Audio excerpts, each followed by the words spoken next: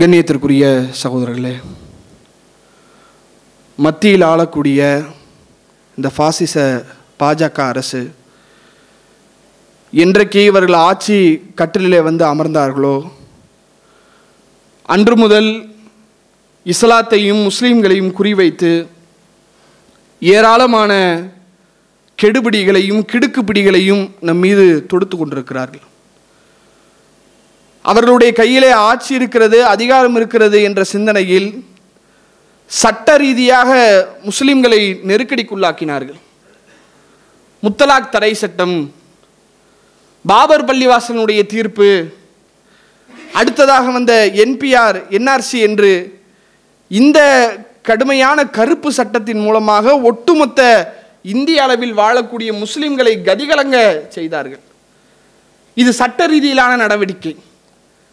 மறைமுகமாக மாட்டிறைச்சி வைத்திருந்தார் என்ற பெயரிலே அதன் மூலம் பல படுகொலைகள் பாரத் மாதா கி ஜெய் என்று சொல்லவில்லை என்று அதற்காக படுகொலைகள் இப்படி தொடர்ச்சியாக ராமநவமி என்ற பெயரால் இஸ்லாமியர்கள் வாழக்கூடிய பகுதிகளுக்கு வேண்டுமென்றே ஊர்வலம் நடத்தி அந்த பகுதிகளை கலவர பகுதியாக மாற்றி அங்கே வியாபாரம் செய்யக்கூடியவர்கள் முஸ்லிம்களுடைய கடை எது என்று தேடி தேடி அந்த கடையை தீக்கரையாக்கினார்கள்.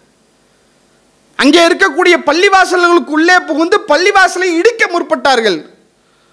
பல முஸ்லிம்களுடைய வீடுகளை தீக்கரையாக்கி திரிந்தார்கள். இப்படி தொடர்ச்சியாக முஸ்லிம்களுக்கு எதிராக இஸ்லாமியர்களுக்கு எதிரான கடுமையான போக்கை வட மாநிலங்களில் பெரிய அளவில் இவர்கள் செய்து கொண்டிருந்தார்கள். அதனுடைய தொடர்ச்சியாக இப்போ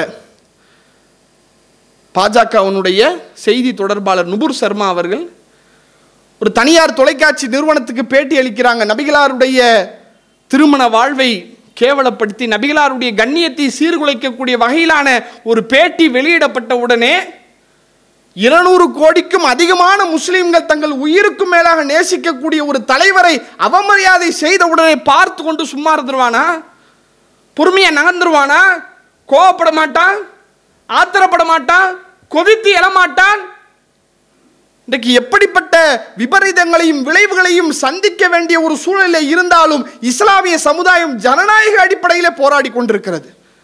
ஜனநாயக அடிப்படையில் தங்களுடைய கருத்துக்களையும் கோபத்தையும் ஆதங்களையும் பதிவு செய்து கொண்டிருக்கிறது. ஊர்வலத்தின் மூலமாக கண்டன ஆர்ப்பாட்டம் பொதுக்கூட்டம் இப்போ இதன் வழியாக எங்களுடைய கருத்துக்களின் மூலமாக தங்களுடைய கோபத்தை வெளிப்படுத்தி கொண்டிருக்கிறார்கள். இந்த பிரச்சனை ஒட்டுமொத்த இந்தியாவில் உலக அளவில் பேசப்பட்டு கடுமையான கேவலமும் அசிங்கமும் இந்த பாஜக அரசுக்கு நிகழக்கூடிய வேலையில் யாரெல்லாம் இதற்காக போராடினார்களோ அந்த போராட்டக்காரர்களுடைய வீடுகளை இன்னைக்கு துணிஞ்சு போய் இடிக்கிறாங்க. அந்த போராட்டத்தில் யாரெல்லாம் ஈடுபட்டார்களோ அந்த போராட்ட களத்தை கலவர பூமியாக மாற்றி அங்கே பங்கு பெற்ற மாணவர்களை சுட்டு கொள்றான் இவன் என்ன செய்ய காத்துக்கிட்டு இருக்கிறான்?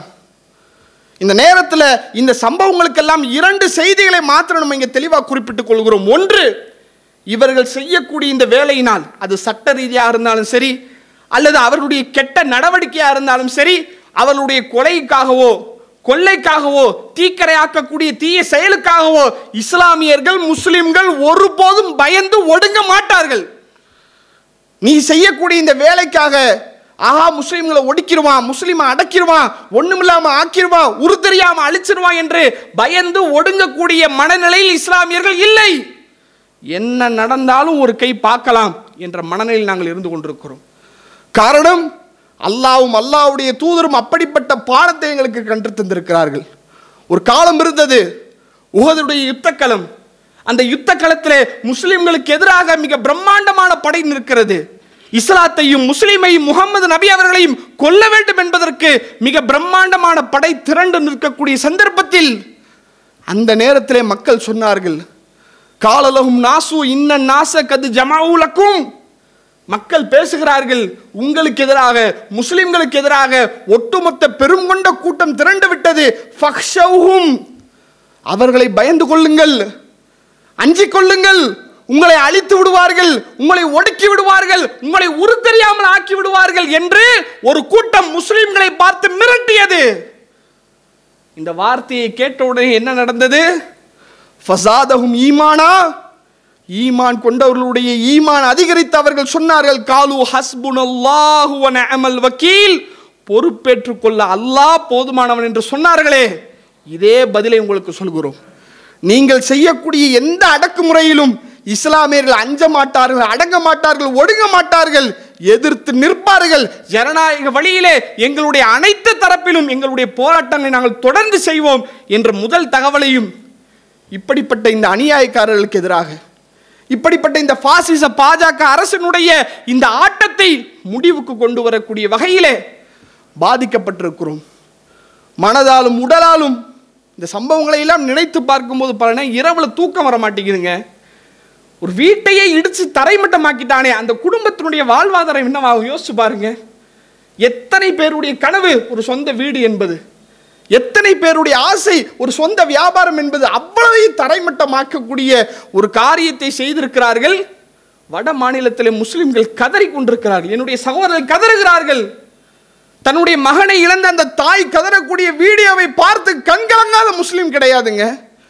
இப்படி என் பிள்ளையை துடிக்க துடிக்க கொண்டுட்டாங்களே போராட்டத்தில் கலந்துக்கிட்டா என்பதற்காக சுட்டு கொன்னுட்டாங்களே என்று அந்த தாய் கதறி அழுகுறாங்க என்ன செய்ய போகிறோம் என்ன வழி அதற்கு?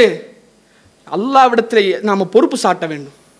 ஒவ்வொரு நாளும் ஐந்து நேர தொழுகையில் நபிகள் நாயகம் சல்லா அலை செல்லமன் அவர்கள் காட்டி தந்த அடிப்படையிலே இந்த குனூத்து நாசிலா என்கிற வழிமுறையை நாம் கையில் எடுக்கணும்.